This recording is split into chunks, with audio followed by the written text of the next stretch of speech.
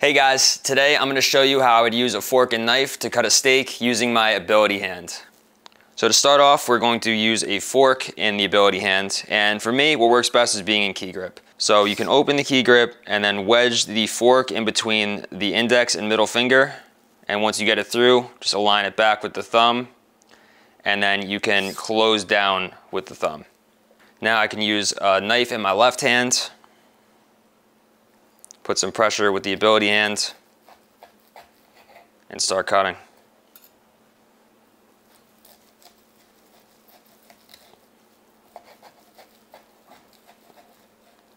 And we can also use a knife in our ability hand. So for, for me, what works best is to be in power grip.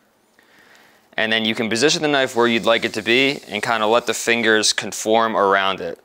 So you can see the pinky and ring finger is supporting the back of the knife, the middle finger is supporting the front of the knife, and the index finger is actually putting pressure down on the back of the handle.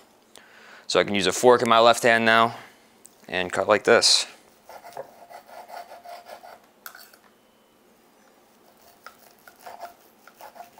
So when eating with a fork and knife using the ability hand, there's a couple things you can keep in mind. One, you can always lock the hand. For me, I can press the power switch in three times which by default will lock the hand. So that'll prevent me from accidentally opening or closing the hand when I'm applying pressure while cutting a steak. Uh, another thing to keep in mind is, depending on your socket setup, might have a slight restraint of motion. That's why I prefer to use the fork in my left hand. And that is how I would use a fork and knife to cut a steak with my ability hand.